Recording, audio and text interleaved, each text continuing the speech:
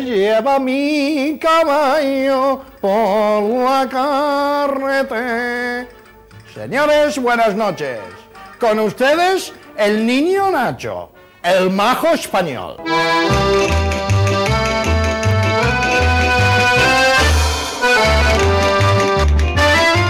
Hoy el arte de los argentinos está dedicado a la madre patria, a España.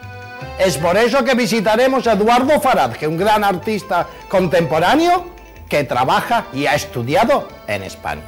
También visitaremos la exposición de Nora Borges que se está realizando en el Centro Cultural Borges. Y finalmente me voy a mi gran vía, a mi calle, a mi avenida. Me voy a la Avenida de Mayo.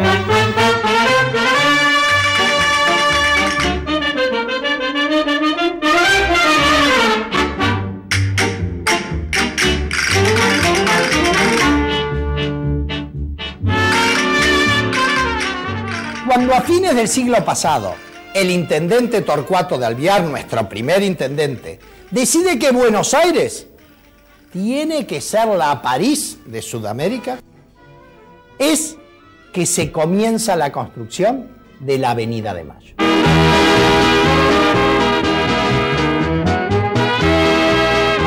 Buenos Aires no tenía ninguna avenida y eso no estaba bien visto. Es por eso que en 1888 le cortan el 30% al edificio del Cabildo y comienzan esta avenida que durante seis años es construida.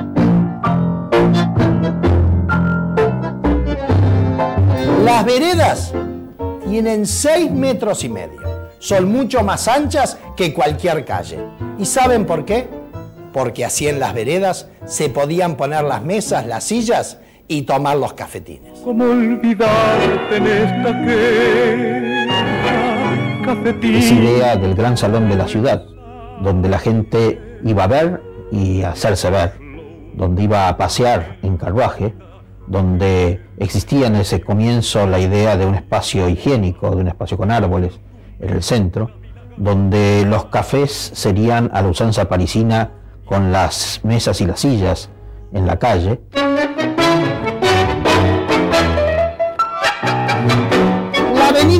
Unía la Plaza de Mayo con la Plaza Lorea. No existía el edificio del Congreso. Se pensaba en construirlo. Y así, esta avenida uniría, como ocurre hoy, el poder ejecutivo con el poder legislativo. Tiene tan solo nueve cuadras. Debe ser de las avenidas más cortas del mundo. Parece que los porteños son muy afectos a los récords. Necesitan tener la avenida más ancha del mundo, que es la 9 de julio, y quizás la avenida más corta, que es la Avenida de Mayo.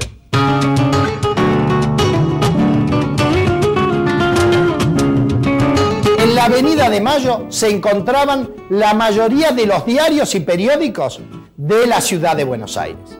Y sin duda el edificio más imponente, el más bonito, el más lindo, es el edificio de la prensa. Que gracias a Dios hoy es la sede de la Secretaría de Cultura de la Municipalidad de la Ciudad de Buenos Aires. En la cúpula tiene una imponente escultura en bronce. Una escultura de 5 metros de alto que es conocida como la farola de la prensa, que es un símbolo, un homenaje al periodismo, ya que la figura tiene en una mano la antorcha y en otro lado el periódico.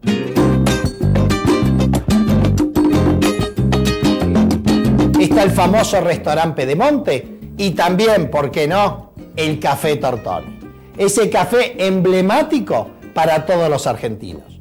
No solo porque cantó el mudo, mi querido Carlitos Gardel, sino porque ahí se reunían los políticos, los artistas. Quinquela Martín tenía una peña y además, sin duda, es un símbolo del tango.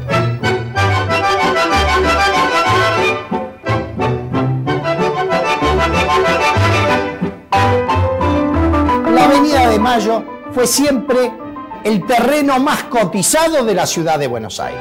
era donde estaban los edificios altos. La prensa, que era el más alto, tenía 55 metros. Hasta que en 1923 un millonario italiano que se llamaba Luis Barolo hace el Palacio Barolo, que tiene 100 metros.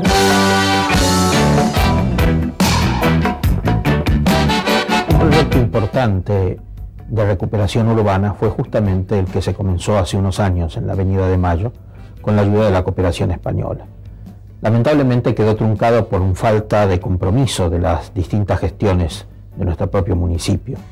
Fue un proyecto que movilizó a los propietarios, a los inquilinos, que consiguió intervenir en 14 edificios, que logró salvar marquesinas, espacios, eh, recuperar el tortón y recuperar algunos espacios este, urbanos que realmente eran importantes.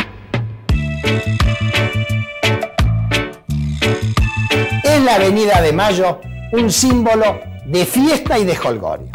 Es donde se hacían los carnavales, donde desfilaban las comparsas, donde se hacía todas las actividades lúdicas y de placer en la ciudad de Buenos Aires. Una costumbre que se ha perdido y me parece muy triste. Espero que las nuevas autoridades, el nuevo jefe comunal, el doctor Fernando de la Rúa, intente darle a la Avenida de Mayo una nueva vida.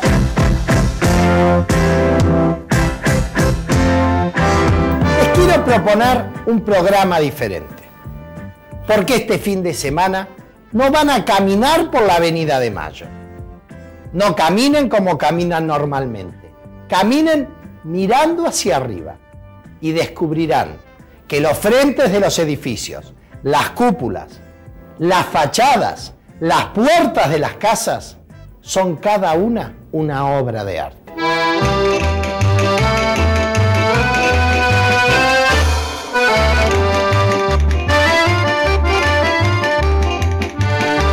La avenida es un sinónimo de la colectividad española. Es por eso que este programa está dedicado a España. Y en dos minutos nos encontraremos con la obra maravillosa de una mujer extraordinaria, Nora Borges.